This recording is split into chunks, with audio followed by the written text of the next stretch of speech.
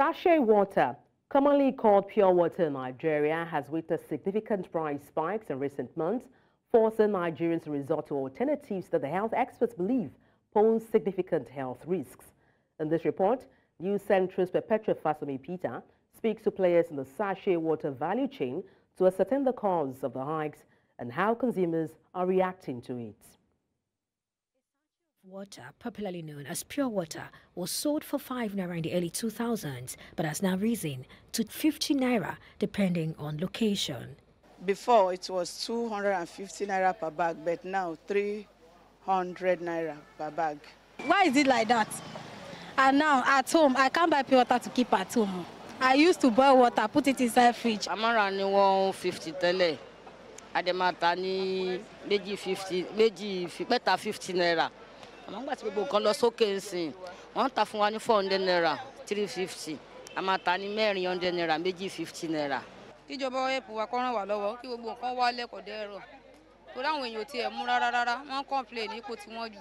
Water is life and more so is clean water. For many Nigerians, this is good enough. Blame it on affordability, but even that is being threatened.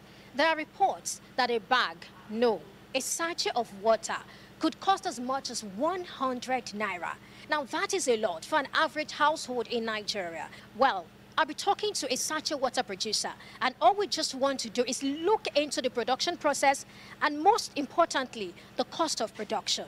The major component of what we do is um, what we call nylon rolls. Those nylon rolls are produced with virgin materials which are mostly imported. The crisis in the foreign exchange market, it, the, the day it started, it started hitting us immediately.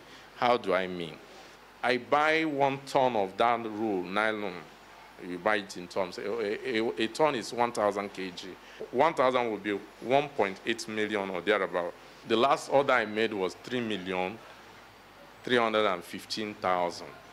You see, that's between December and now. Any day they didn't bring light at all. We run, we spend 100 and something thousand on diesel alone.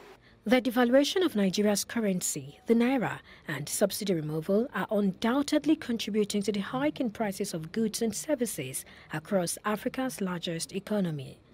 As more refineries come on stream and the naira continues to appreciate in the official and parallel markets, it is hoped that stability will return and Nigerians will heave a sigh of relief soon rather than later.